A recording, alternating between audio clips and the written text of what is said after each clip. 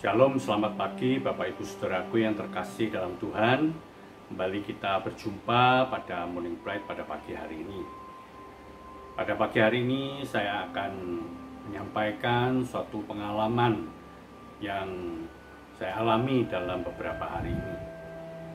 Saya tidak melanjutkan pembahasan kita dari Amsal, minggu depan kita akan teruskan lagi. Nah, pengalaman ini membuat saya belajar banyak hal dan ini ingin saya bagikan bagi Bapak Ibu Saudara semuanya.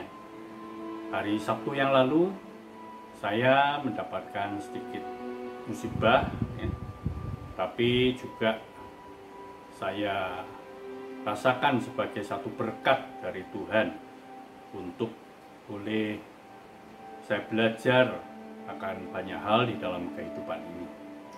Tepatnya hari Sabtu yang lalu saya e, mengalami uh, terpleset sehingga kaki saya terkilir sampai sulit untuk berdiri apalagi berjalan. Nah, saya akan tunjukkan dulu tempat di mana saya akan uh, saya terjatuh itu dan saya terkilir di sana. Ini adalah tempat di mana saya jatuh ya. Jadi kaki saya itu memijak tempat ini dan mungkin tidak sempurna jadi terpreset dan jatuh ke bawah. Nah, itulah yang membuat uh, kaki saya ter, uh, terkilir dan jadi sakit luar biasa. Nah, itu tadi adalah tempat di mana saya terjatuh sehingga kaki saya terkilir. Nah, dalam kondisi seperti itu kaki saya sangat sakit sekali sehingga untuk berdiri saja susah apalagi harus berjalan. Kemudian saya juga bingung bagaimana saya harus uh, berobat. Apakah harus ke dokter atau harus ke rumah sakit atau ya di pijat. Dan karena sudah sore dan malam maka saya putuskan untuk diberi obat saja dengan apa Eh, minyak-minyak yang panas gitu ya supaya peredaran darahnya tetap jalan. Nah semalam sakitnya luar biasa dan sampai pagi bahkan sampai berdiri pun sudah nggak bisa. Nah hari berikutnya karena hari Minggu jadi istri dan anak saya harus ada pelayanan di gereja di sekolah minggu. Jadi saya juga agak sedikit bingung. Mana ini? Harus bawa ke mana saya bilang udah gak usah bingung dengan saya dulu. E, kalian pelayanan dulu. Jadi e, kerjakan tugas pelayanan yang ada baik-baiknya sehingga anak-anak tidak tertengkalai dan anak-anak bisa lain dilayani dengan baik. Nah tapi istri saya juga merasa tidak tenang maka dia menghubungi saudara-saudaranya untuk mengantar saya ke mungkin ada apa tukang pijet yang bisa membantu. Karena kaki saya bengkak luar biasa. Tapi saudara-saudaranya juga dari minggu itu harus ke gereja ada yang pelayanan dan sebagainya sehingga tidak ada satupun yang bisa mengantar saya. Lalu saya juga di rumah sendirian gimana? Saya juga tunggu aja dah. Sampai istri dan anak saya pulang. Tapi tidak disangka bahwa ada seorang kenalan yang katakan bahwa e, tukang pijatnya sedang pergi ke daerah di sekitar rumah saya ini. Dan dia bersedia untuk membantu untuk men, e, melihat dan juga memberikan bantuan. Sehingga karena dia harus e, ketemu dengan orang lebih siang maka dia berangkat lebih pagi ke tempat saya lebih dulu. Hingga saya sehingga dia sampai di rumah saya dan dipijat.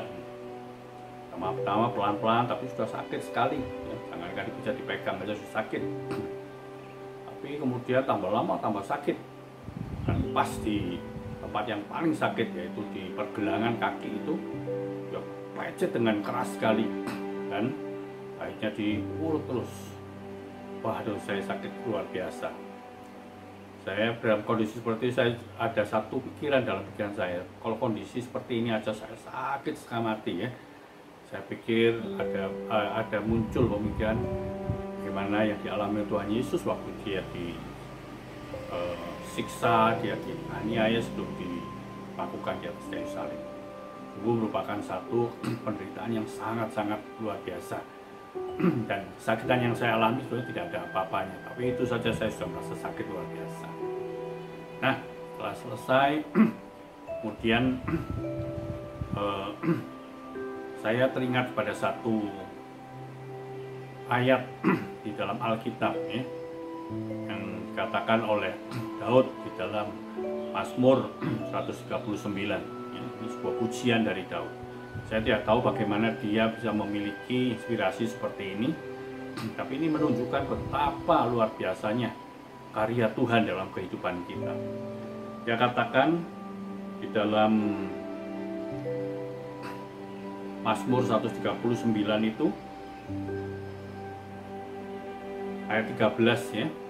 Sebab engkaulah yang membentuk buah pinggangku, menenun aku dalam kandungan ibuku. Aku bersyukur kepadamu oleh karena kejadianku dahsyat dan ajaib. Ajaib apa yang kau buat dan jiwaku benar-benar menyadarinya. Tulang-tulangku tidak terlindungi bagimu. Begitu aku dijadikan di tempat yang tersembunyi dan aku direkam di bagian-bagian bumi yang paling bawah. Nah, saya merasakan tubuh saya ini ditenun, dibentuk ya, dengan begitu dahsyat dan ajaib oleh Tuhan Kenapa? Karena hanya karena beberapa urat yang ter apa terkilir gitu aja ya, tidak pada tempatnya dan dia harus dikembalikan. Itu aja sudah sakit bukan main, sudah tidak bisa membuat saya berjalan. Kayak itu saya lihat karya Tuhan itu begitu dahsyat dalam kehidupan saya secara pribadi dan kita semua sebagai manusia Tuhan sudah membentuk dan juga mengatur sedemikian rupa. Kiranya kita juga tetap bersyukur pada hari kita kita jalani dengan dengan baik dengan lancar. Semua itu ada anugerah Tuhan. Ya saya bisa bayangkan ya satu urat saja atau satu syaraf saja itu mengalami gangguan. Kita sudah tidak bisa buat apa-apa. Ya. Tuhan menolong kita semuanya sehingga kita boleh makin bersyukur pada Tuhan. Kita semakin merasakan anugerah Tuhan yang begitu besar dalam kita amin morning bright let your life be bright